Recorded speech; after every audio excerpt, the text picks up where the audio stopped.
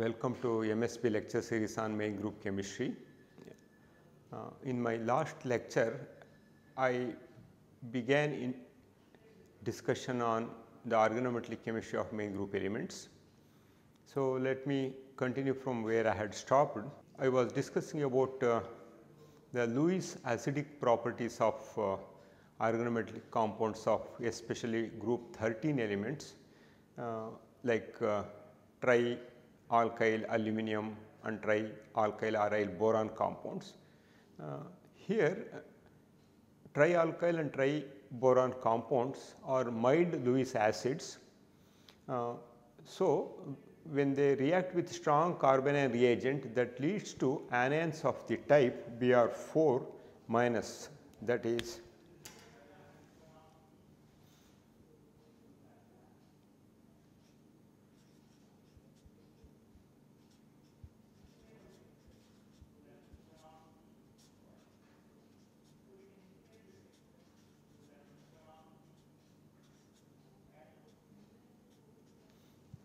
Okay. So, example one can consider sodium salt of tetraphenyl borate. The bulky anion here uh, hydrolyzes very slowly in neutral or basic water and is useful for the preparation of large positive cations. In fact, in uh, coordination chemistry, these large anions are very essential to stabilize and crystallize larger positive ions or larger cations. Uh, if you treat this one with uh, potassium, one can conveniently make the potassium salt as well. Okay. Uh, this uh, potassium salt of tetraphenyl borate is insoluble used for the gravimetric estimation of potassium an example of the low solubility of large cation and large anion salts in water. Uh, these uh, Lewis acidic boron compounds organoboron compounds such as tri-alkyl boron can also react with catechol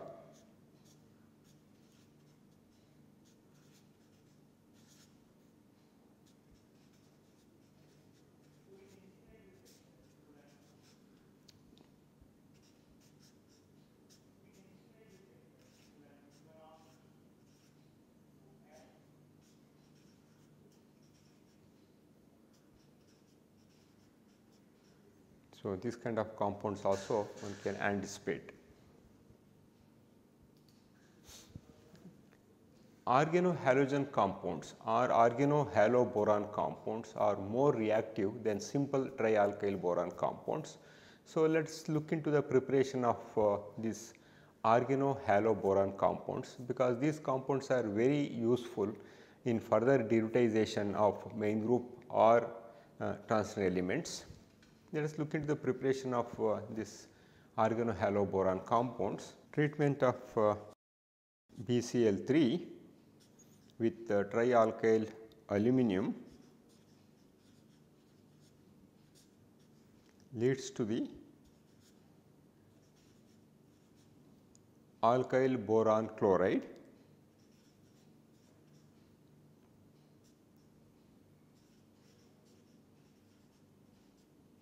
Of course, this reaction can also be termed as metathesis reaction. Okay. Or one can also go for a redistribution reaction. For example, uh, treatment of BCl3 with trimethyl boron leads to the redistribution. Of course, this reaction has to be carried out in diborane B2H6 it leads to the formation of BMeCl2. This is redistribution reaction.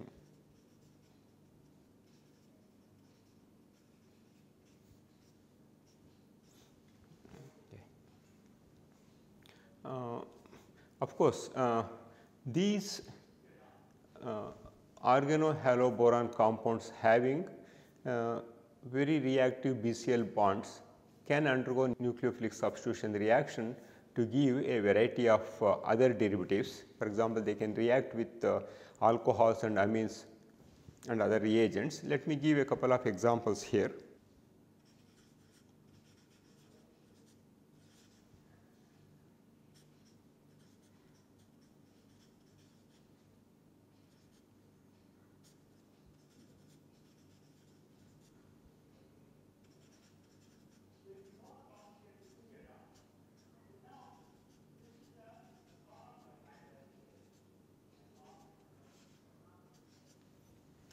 So, here uh, 3 B MECl2.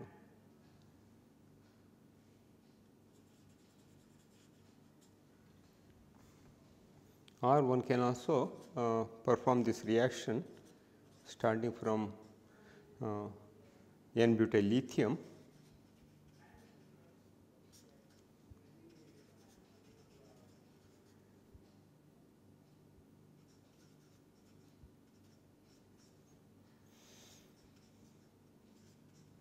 Okay. So, these are some of the reactions once you have some BCl or uh, bond one can look into a variety of other uh, reagents.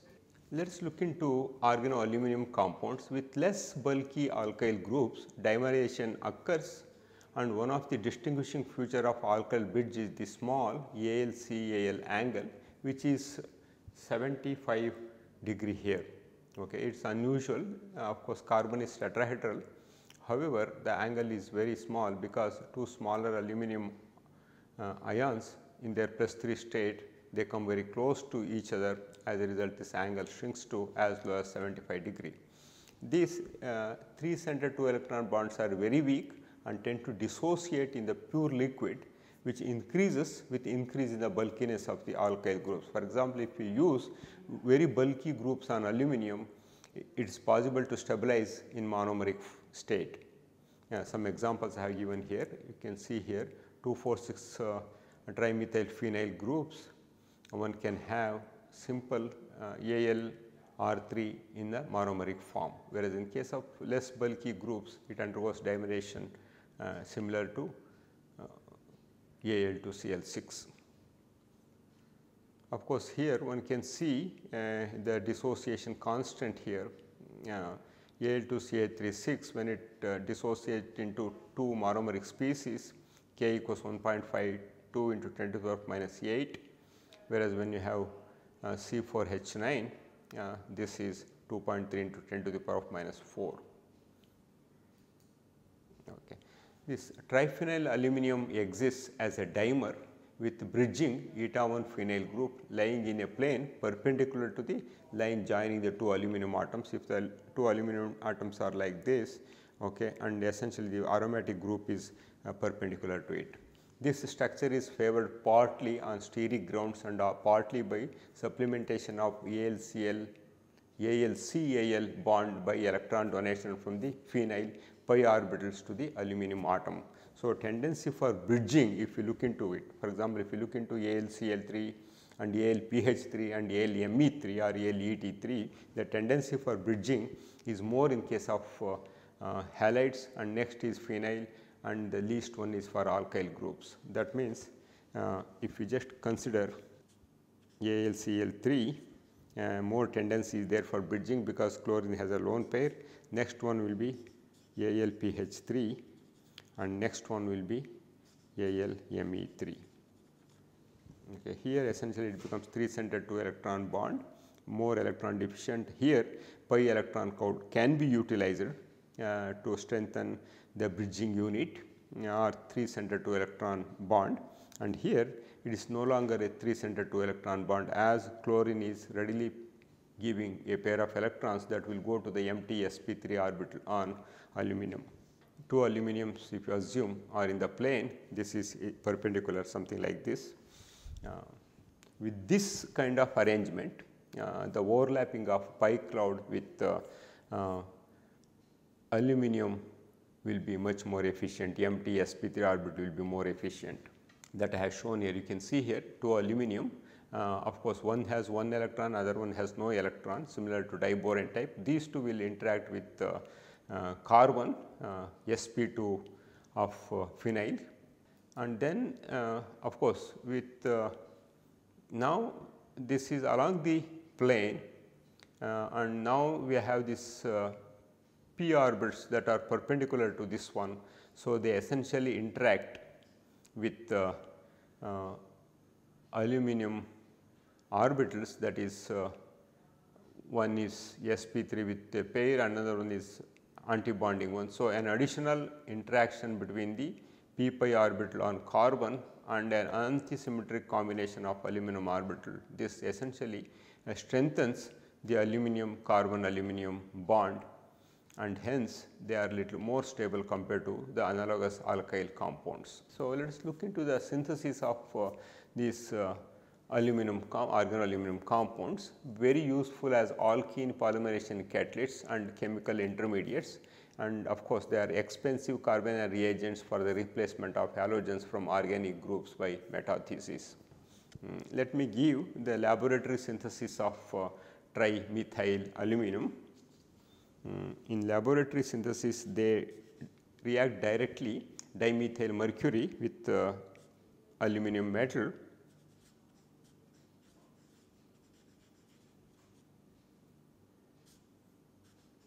this gives Al2 Me6 plus okay.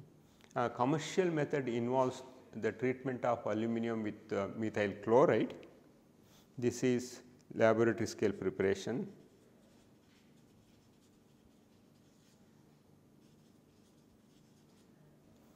Commercial method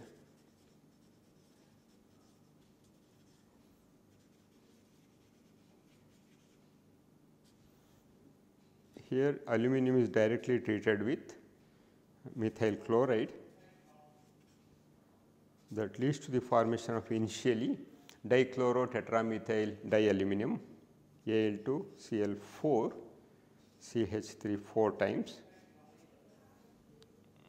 This Al2 Cl4 CH3 4 times when it is reacted with uh, 6 equivalents of sodium uh, Al2 CH3 6 times. So, uh, trimethyl aluminum will be formed okay, plus 2 Al 6 NaCl.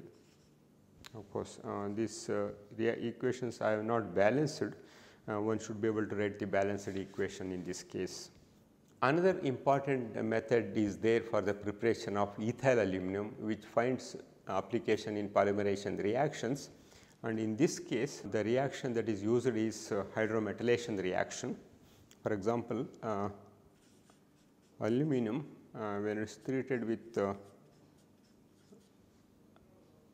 hydrogen gas and ethylene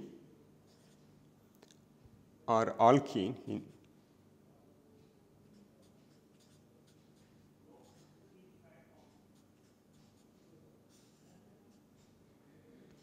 of course temperature maintained is 110 and the pressure is 100 to 200 at atmosphere. This leads to the formation of Al2, CH2, CH2 or 6 times. This is uh, quite opposite to beta hydrogen elimination reaction.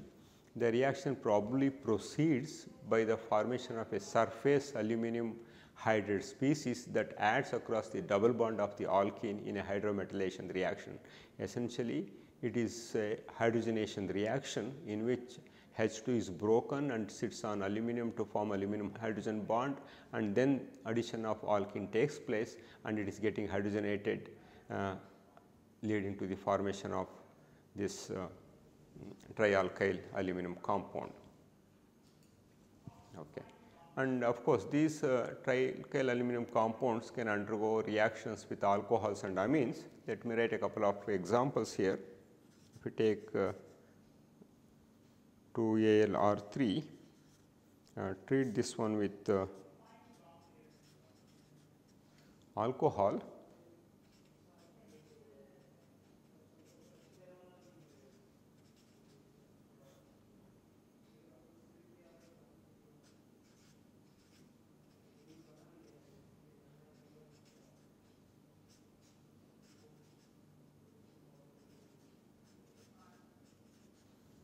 Similarly, it can undergo reaction with uh, secondary amine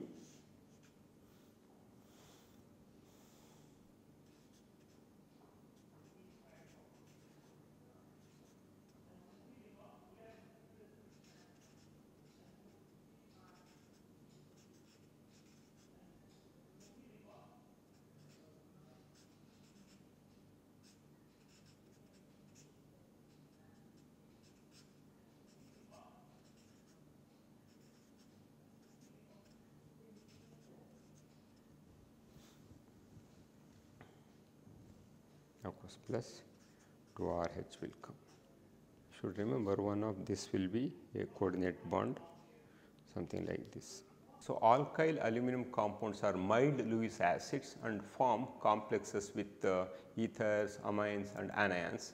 When heated often beta hydrogenation is responsible for the decomposition of ethyl and higher alkyl aluminum compounds.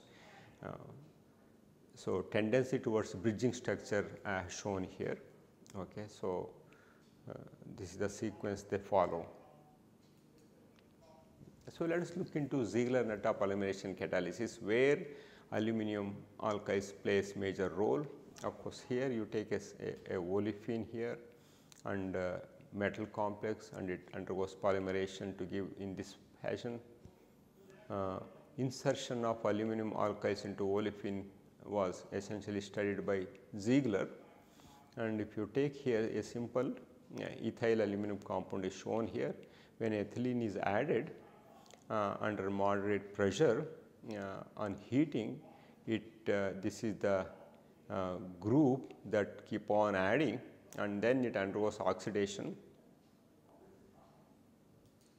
and then we get the corresponding polymer. So, here and of course, here initially uh, this trialkyl aluminum is treated with uh, TiCl4, it gives an insoluble precipitate and to this one am adding ethylene high molecular weight linear polymer is will be obtained. So, so this essentially here uh, it involves both aluminum as well as titanium the sequence of reactions and also the direction of uh, bond breakage and bond formation are shown here in this one it goes like this. So, these two people Natta and Ziegler uh, were given Nobel Prize in 1963 for this important discovery. So, uh, TiCl4 on treatment with uh, trimethyl aluminum it, it initially forms a dimetallic compound of this type involving one chlorine and one methyl bridges and this is an insoluble complex on treatment with ethylene it adds ethylene to titanium and then uh, uh, rearrangement takes place and this is moved on to the bridging CH2 CH3 group and then termination by chain transfer happens and eventually we get this polymer and this keep on adding until everything is hydrogenated here.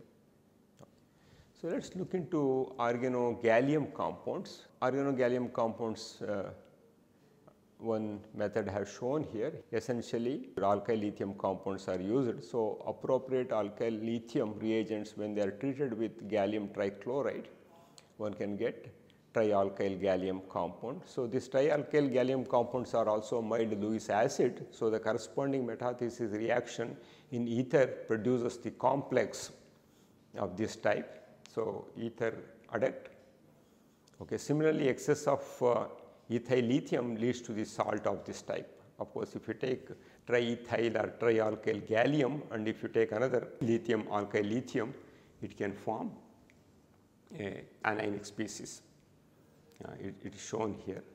For example, you, you take gallium trichloride and treat this one with 4 equivalents. So, what we get is 3 equivalents of lithium chloride plus lithium salt of gallium tetraethyl. Alkyl indium and alkyl thallium compounds may be prepared similar to gallium analogues uh, trimethyl indium is monomeric in the gas phase and in the solid the bond lengths indicate the association is very weak.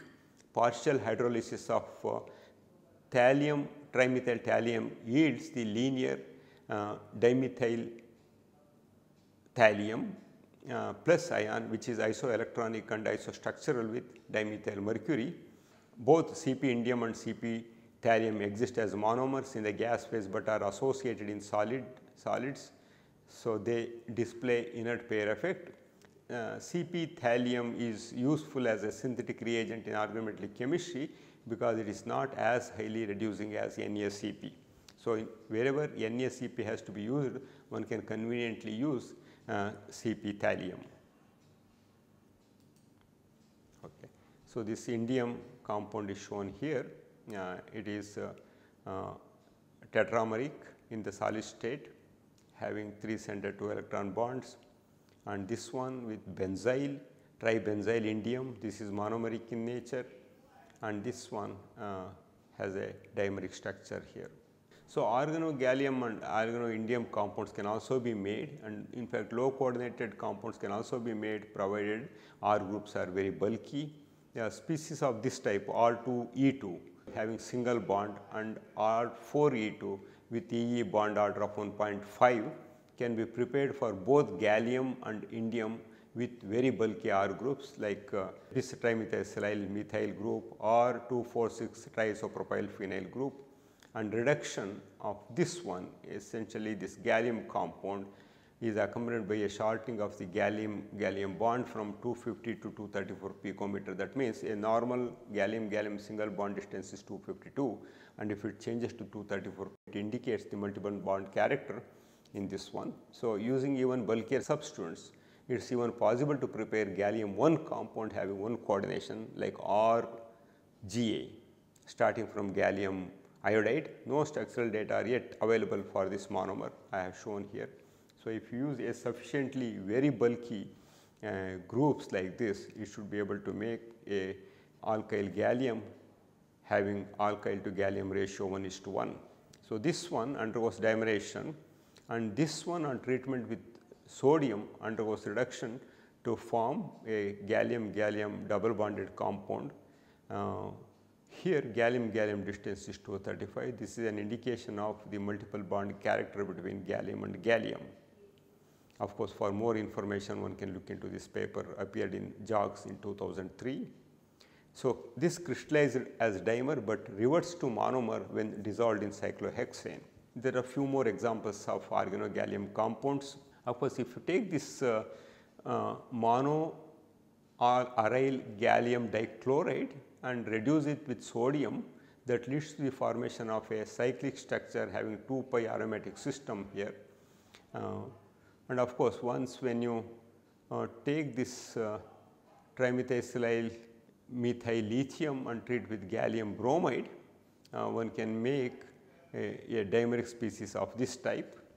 Uh, of course, I have given a, a example the reaction of uh, this compound uh, with iodine in boiling hexane results in the formation of a compound of this composition along with this composition suggest structure for these compounds and state the oxidation state of gallium in the starting material and product. So, this is a easy product by deriving clue from this one as well as this one you should be able to work out. Uh, so, this problem given here. Okay. Um, so, interest in organometallic compounds of gallium, indium and thallium is mainly because of their potential use as precursors to semiconducting materials such as gallium arsenide and indium phosphide. So, volatile compounds can be used in the growth of thin films by MOCVD.